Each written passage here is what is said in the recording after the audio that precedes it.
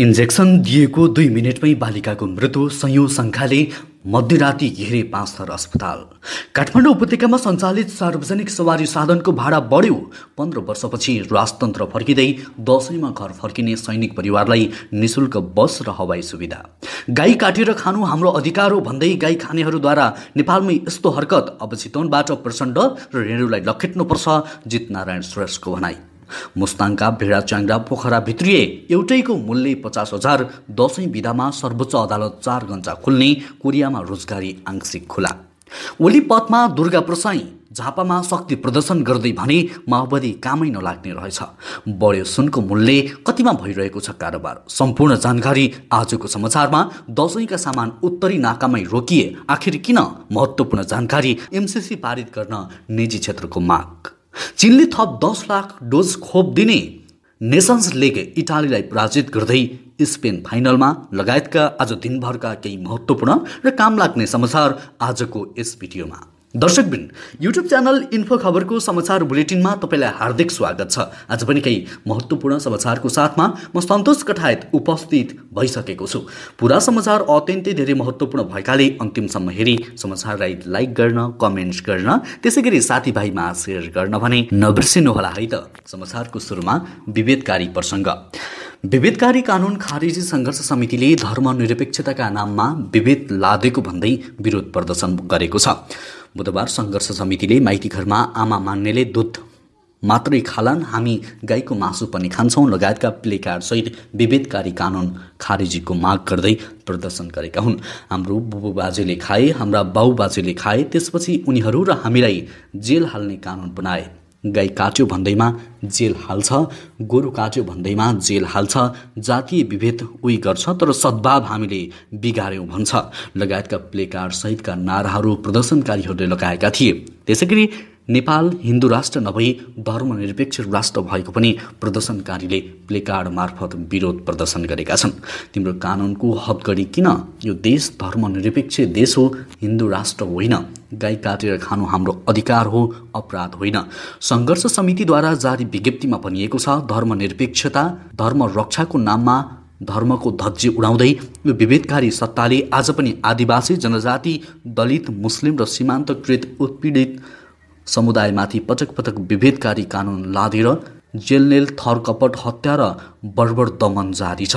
आदिवासी जनजाति दलित मुस्लिम आदि समुदायले मासु जन्ने आहाराको रूपमा उपभोग गर्दै आएको गाईलाई कथित राष्ट्रिय जनावरको गलत तर्क पेश गर्दै गाई गोरुको वध गरेमा अपराध करार गर्दै मुलुकीय अपराध संहिता ऐन दुई हजार चौहत्तर भाग दुई परीक्षा सत्ताइस अनुसार गाई गोरु वध गरेमा तीन वर्षसम्मको कैद सजायको व्यवस्था गरिएको छ। दर्शकबिन गाई हाम्रो देशको राष्ट्रिय जनावर हो। केही धर्म कमाउने मान्छेहरू गाई काटेर खानु हाम्रो अधिकार हो भन्दै जङ्गिरहेका छन्।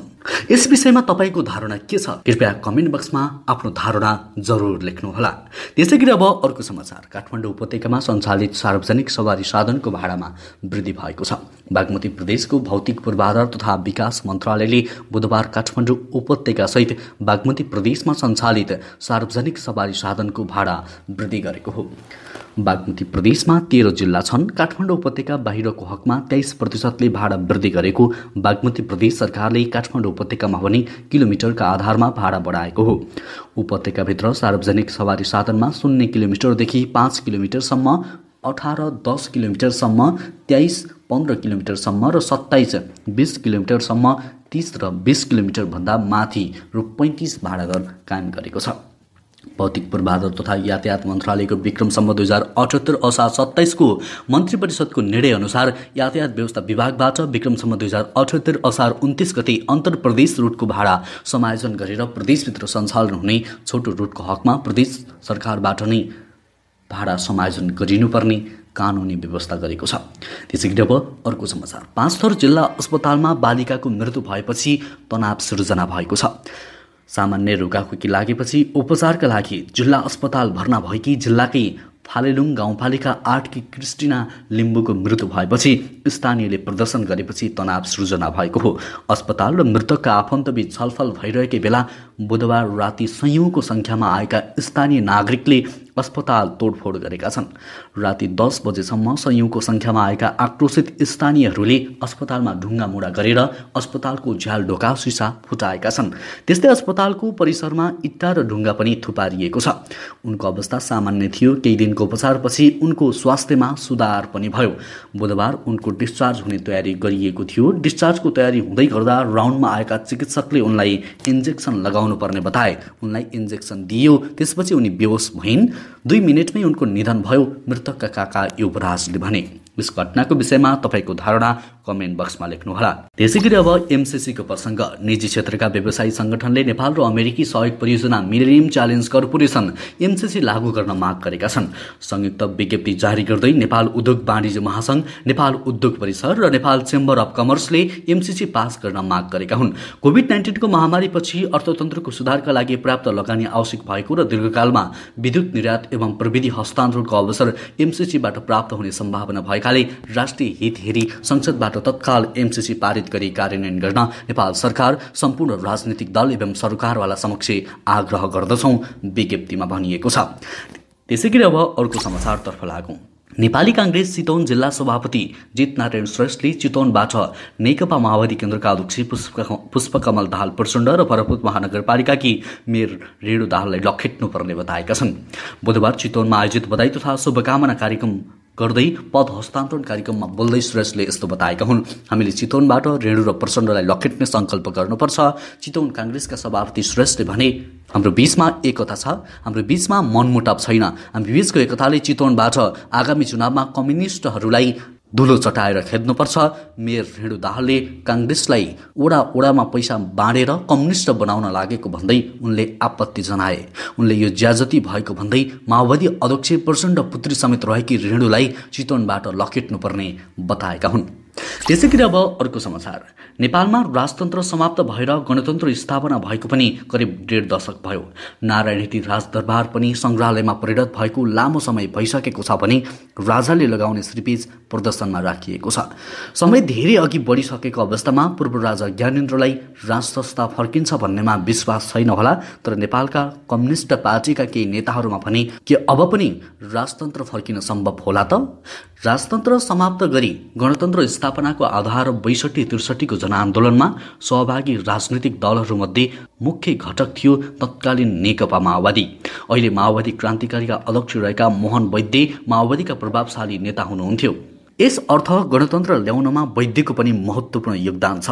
तर उहाँलाई आजभोलि खै किन हो? किन गणतन्त्रप्रति नैराश्यता उत्पन्न भएको छ भने चितामा पुगिसकेको भनिएको राजतन्त्रप्रति उहाँको आश्चर्य लाग्दो मोह पलाएको छ।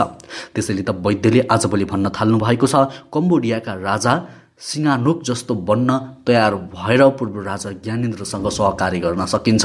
वैद्यले नारायण निर्मल निवास पुगेका पूर्व राजा ज्ञानेन्द्र शर्त मान्न तयार भए राजतन्त्र फर्काउन सकिन्छ भन्नुलाई आश्चर्यजनक रूपमा लिइएको छ।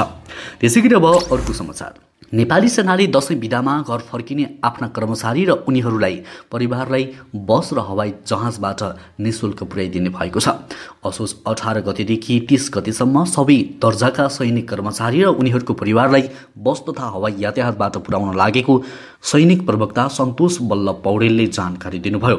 सेनाको कल्याणकारी सुविधा अन्तर्गत घर जाने बहालवाला सैनिक र उनीहरूलाई यो सुविधा दिन लागि हो। प्रधान सेनापति परशुराम शर्माले आफ्नो पद बहालीसँगै सकल दर्जा र आश्रित परिवारलाई कल्याणकारी सुविधा थप गर्ने घोषणा गरेका थिए। नेपाली सेनाले दसैँमा आफ्नो गाउँ फर्कन चाहने सैनिकका आश्रित परिवारलाई बस र हेलिकप्टरबाट निशुल्क रूपमा पठाउन थालेको जनसम्पर्क तथा सूचना निर्देशनालयले जनाएको छ। त्यसै गरी अब कोरियाको प्रसङ्ग। कोरोना महामारीका कारण दुई वर्षदेखि रोकिएको रोजगार अनुमति प्रणाली इपिएस अन्तर्गत रोजगारीका लागि दक्षिण कोरिया जाने क्रम आंशिक रूपमा खुलेको छ। कोरिया र नेपाल सरकारले संयुक्त रूपमा तयार गरेको स्वास्थ्य मापदण्ड पूरा गरेका प्रतिबद्ध श्रमिकलाई आगामी कार्तिक दस गतेदेखि लैजाने भएको हो।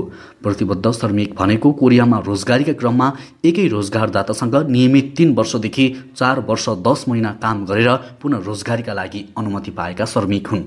कोरियामा एकै कम्पनीमा चार वर्ष दस महिना काम गरेर फर्केका एक सय उन्नाइस प्रतिबद्ध श्रमिकको भिसा प्रक्रियाका लागि वैदेशिक रोजगार विभाग इपिएस कोरिया शाखाले नामावली समेत सार्वजनिक गरेको छ।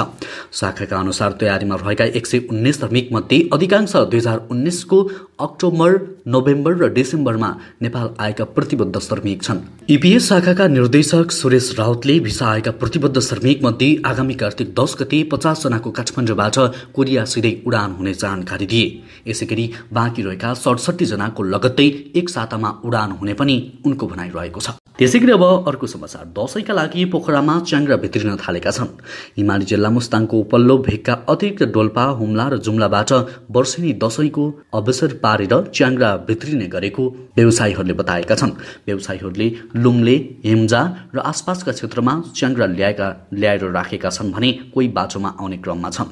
पोखरा क्षेत्रमा झारिएका च्याङ्ग्रा प्रति गोठा पैँतिस हजारदेखि पचास हजारसम्ममा बिक्री गरेको व्यवसायी कृष्ण अधिकारीले बताए। उनले सानो खोलाका च्याङ्ग्रालाई पैँतिस हजार र रोजा खालकोलाई पचास हजारमा बिक्री गर्ने पनि बताए। उनका अनुसार तिब्बतबाट ल्याउन नपाउँदा उपल्लो मुस्ताङमा पालिएका च्याङ्ग्रा प्रति गोटा पाँचदेखि दस हजार रुपियाँ महँगिएको र पोखरासम्म ल्याउँदा विभिन्न ठाउँमा लिएको पटके करका कारण मूल्य बढेको हो। पोखरादेखि जोमसोम पुगेर पन्चानब्बेवटा च्याङ्ग्रा खरिद गरी ल्याएका अधिकारीले बताएका छन्। अघिल्लो वर्षको तुलनामा यस वर्ष प्रति कोटा पाँचदेखि दस हजारसम्म मूल्य बढी तिर्नु परेको उनले बताएका छन्। त्यसै गरी अब अर्को समाचार। जुत्ता व्यवसायी देवेन्द्र कुमारले दसैँलाई लक्षित गरेर चीनबाट ल्याएका दुई गाडी जुत्ता पसल तीन महिनादेखि केरुङ नाकामा रोकिएका छन्। जुत्ता नआएपछि देवेन्द्र दसैँमा के बेच्ने भन्ने चिन्तामा छन्। अहिलेसम्म कोभिडले व्यापार भएको थिएन। उनले भने दसैँमा जुत्ता चप्पल बेचौँला भनेको ती सामान बोकेर आएको गाडी सीमा नाका पारी नै रोकिए।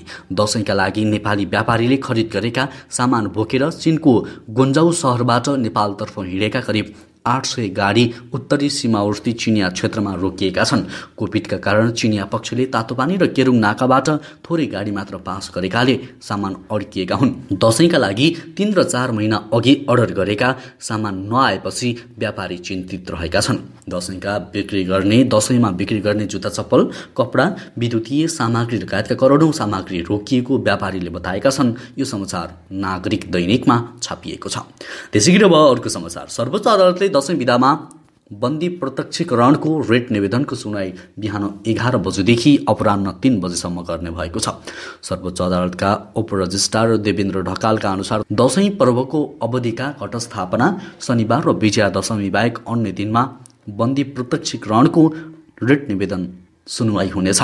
घटस्थापनादेखि आगामी कार्तिक तिन गते कोजाग्रत पूर्णिमासम्म सर्वोच्च अदालत बन्द रहने हुँदा न्याय प्रशासन ऐन दुई हजार त्रिहत्तर अनुसार सो अवधिमा बन्दी प्रत्यक्षीकरणको मुद्दाको मात्र सुनवाई गर्न लागि हो। सर्वोच्च अदालतको मङ्गलबार बसेको पूर्ण बैठक ती दसैँ पर्वका अवसरमा बन्दी प्रत्यक्षीकरणको रेट निवेदनको सुनवाई गर्ने र त्यसका लागि न्यायाधीशहरू तोक्ने निर्णय गरेको थियो। त्यसै गरी अब अर्को समाचारतर्फ लागौँ। चीन सरकारले पुनः कोरोना विरुद्धको खोप अनुदानमा सहयोग गर्ने भएको छ। चीनले उत्पादन गरेको सिनोभ्याक कम्पनीको खोप नेपाललाई अनुदानमा सहयोग गर्ने विषयमा बुधबार स्वास्थ्य राज्यमन्त्री उमेश श्रेष्ठ नेपालका लागि चिनिया राजदूत हो एनसीबीच छलफल भएको थियो। छलफलमा चिनिया राजदूत होले थप दस लाख मात्रा सिनोभ्याक कम्पनीले उत्पादन गरेको भेरोसिल खोप अनुदान सहयोग गर्ने बताएका थिए। छलफलमा चीन सरकारले नेपाली सेनाका लागि पनि थप तिन लाख मात्रा खोप अनुदानमा उपलब्ध गराउने विषयमा पनि छलफल भएको छ। यसै गरी चिनको अनुदानमा प्राप्त सोह्र लाख मात्रा खोप अक्टोबरदेखि अक्टोबर बिसदेखि तेइससम्म नेपाल आइसक्ने राज्यमन्त्री श्रेष्ठले जानकारी दिए। त्यसै गरी अब अर्को समाचार। युरोपियन च्याम्पियन इटालीलाई पराजित गर्दै स्पेन युएएफ नेसन लिगको फाइनलमा प्रवेश गरेको छ। गैराती भएको खेलमा स्पेनले इटालीलाई दुई एकले पराजित गर्दै फाइनलमा प्रवेश गरेको हो। स्पेनको जितमा दुवै गोल फेरान टोरेसले गरे इटालीको लागि।